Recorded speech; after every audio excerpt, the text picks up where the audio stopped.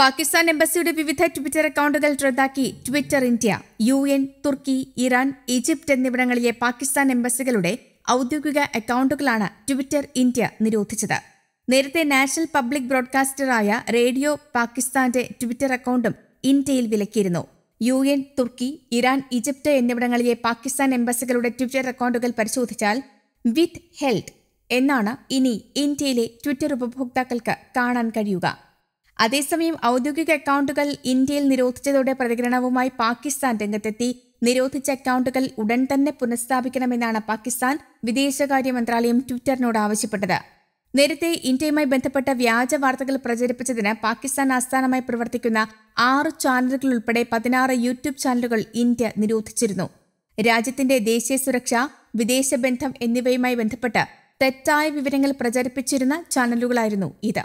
ജനങ്ങളിൽ പരിഭ്രാന്തി സൃഷ്ടിക്കുന്നതിനും സാമുദായിക സൗഹാർദ്ദം തകർക്കുന്നതിനും ശ്രമിക്കുന്ന ഇത്തരം ചാനലുകളുടെ നിരോധനം തുടരുമെന്ന് വാർത്താവിതരണ പ്രക്ഷേപണ മന്ത്രാലയം അറിയിച്ചിരുന്നു. ട്വിറ്റർ ഈ ഔദ്യോഗിക അക്കൗണ്ടുകൾ തടഞ്ഞുവച്ചതിന് പിന്നാലെ ഈ അക്കൗണ്ടുകൾ ഉടനടി പുനഃസ്ഥാപിക്കാൻ പാകിസ്ഥാൻ വിദേശകാര്യ മന്ത്രാലയം ട്വിറ്ററിനോട് ആവശ്യപ്പെടുകയായിരുന്നു.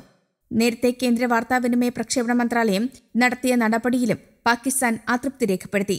ഇന്ത്യയുടെ ദേശീയ സുരക്ഷ വിദേശ ബന്ധങ്ങൾ എന്നിവയുമായി ബന്ധപ്പെട്ട തെറ്റായ വിവരങ്ങൾ പ്രചരിപ്പിക്കുന്നു എന്നാണ് ഇന്ത്യൻ ആരോപണം.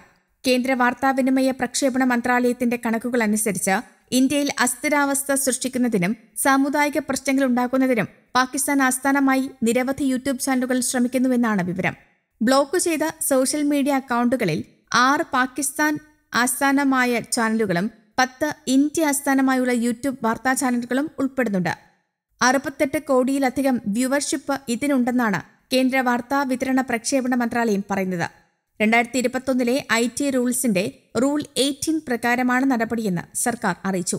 പാകിസ്ഥാൻ ആസ്ഥാനമായുള്ള യൂട്യൂബ് ചാനലുകൾ ഇന്ത്യൻ സൈന്യം ജമ്മു കാശ്മീർ വിദേശ ബന്ധങ്ങൾ തുടങ്ങി വിവിധ വിഷയങ്ങളിൽ ഇന്ത്യയെക്കുറിച്ചുള്ള വ്യാജ വാർത്തകൾ പോസ്റ്റ് ചെയ്യാൻ ഏകോപിപ്പിച്ച രീതിയിൽ ഉപയോഗിച്ചതായി കേന്ദ്ര വാർത്താ വിതരണ പ്രക്ഷേപണ മന്ത്രാലയം കണ്ടെത്തി.